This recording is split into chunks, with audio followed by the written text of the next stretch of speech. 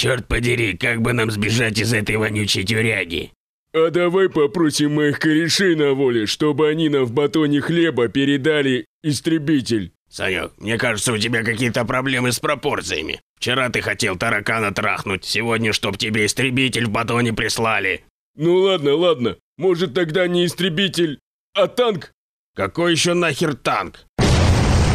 Спасательная бригада Евросоюза уже здесь. Твою мать, это же Ангела Меркель. Кто из вас Юлия Тимошенко?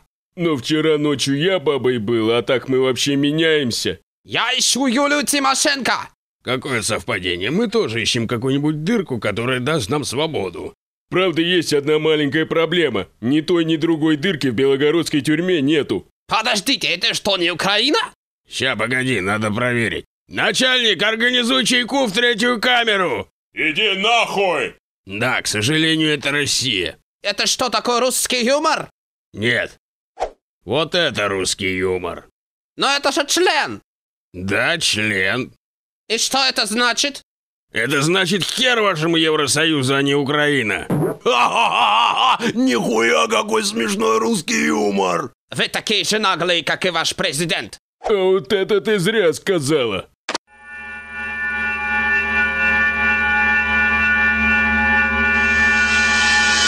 Чё?